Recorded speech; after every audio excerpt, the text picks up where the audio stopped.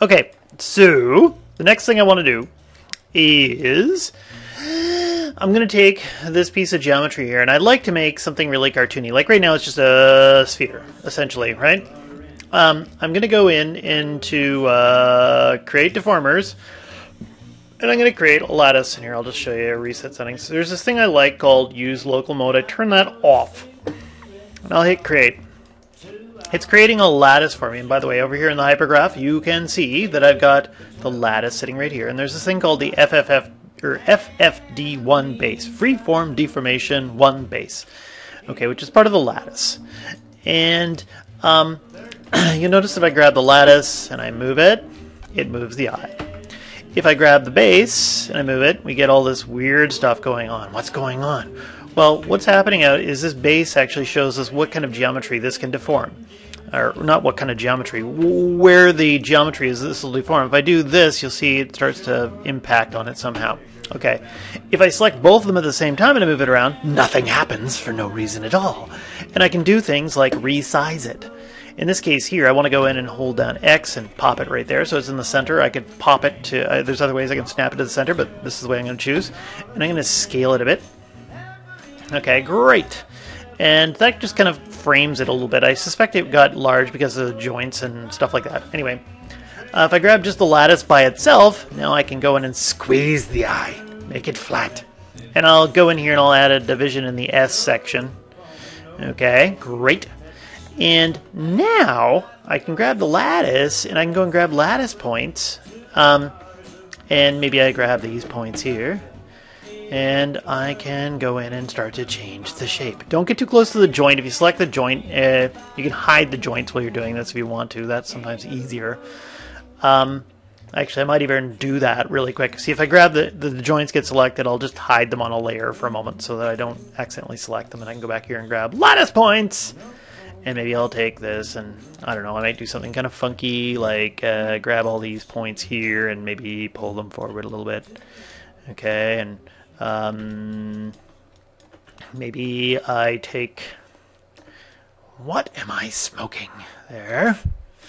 I grab these ones and I pull them back. Okay, great. Um, so I can get some kind of shape out of them. Great. And you'll see that this still kind of works when I blink. Okay, it goes up and then, oh, what the hell's that little flick right there? That flick, well, I'll probably get another one there. There we go. There's a couple more. So this lattice and its base just aren't big enough. So if I select the two of them together and I scale them up a bit, okay, there, I still get the shape. Sometimes you'll notice uh, it shrinks a little bit. Okay, it's deforming just because of the shape of this thing. Okay, whatever. I'm going to leave it there, say. I just want to make sure that FFD1 base is bigger. And so now it deforms perfectly, and if I go back here and I select this and I go blink, nothing pops out. And if I just double check again, grab this, rotate it around, the eye still deforms and everything like that. Holy cow! Now, what are we at? Uh, three minutes. So that didn't take long to figure that one out. One other really cool little thing I can do here is I can take the lattice and here I'll bring up the hypergraph while I do this.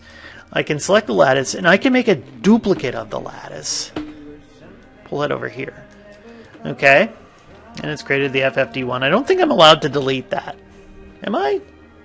Looks like I can. I don't know if it. We'll find. Eh, mm, mm, mm, actually, I've never tested this to see if I can actually delete it and get, get away with it. Anyway, I'm going to grab this. And what I want to do is I want to go in here and I'm going to grab this lattice point, this one, one, this one, this one, and this one. And I'm going to pull them out like this. Okay, I might even go a bit further and pull this out even further. Um, I could have used fewer lattice points and whatever, we might have got something a bit different, but I got to do something like that. Now here's another special little ability of the lattice. If I select this one, hold down shift and I select that one, and if I go under create deformers, there's blend shape. I can create a blend shape for this, and I might give it a name or something like that, but anyway, I'll create, actually let's call this um, eye startle and I'm going to call this the left side.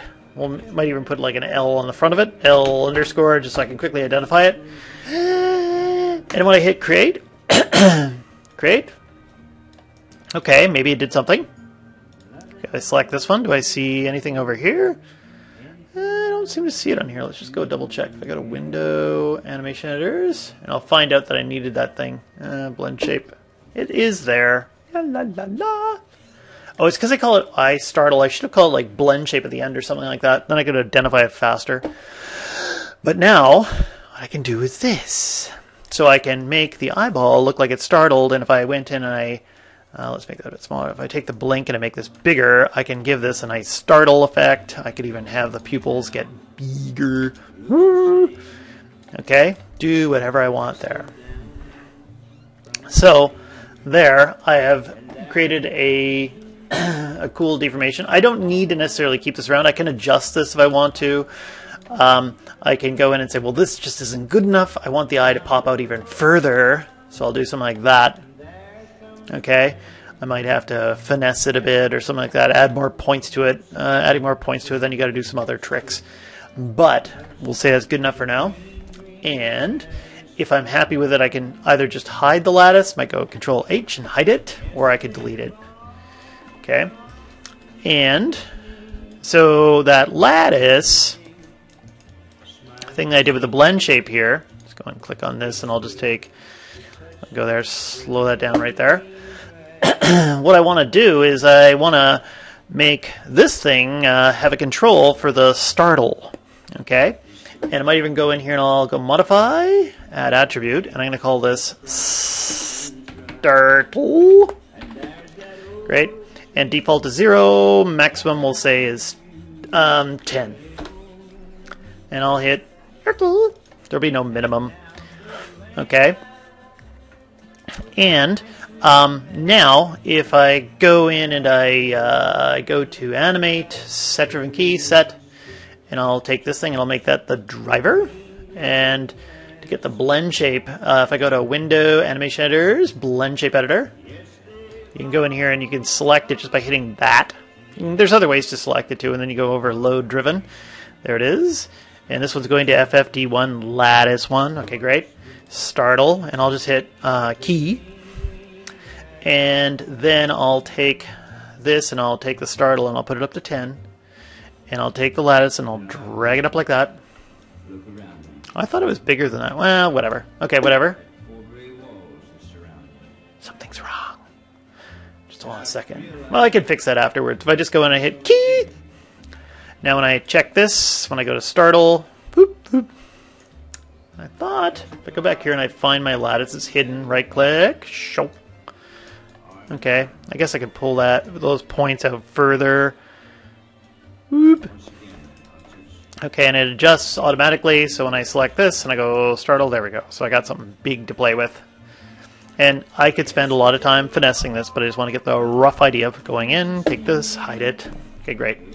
So there you go. We've got uh, a uh, blend shape startle effect. And I'm going to stop this video here.